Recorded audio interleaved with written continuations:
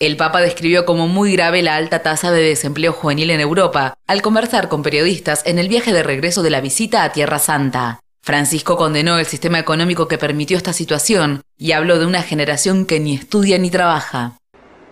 Es gravísimo. Eh, en Italia creo que la disoccupazione giovanile è quasi sul 40, non sono sicuro. Eh? In Spagna sono sicuro, è sul 50.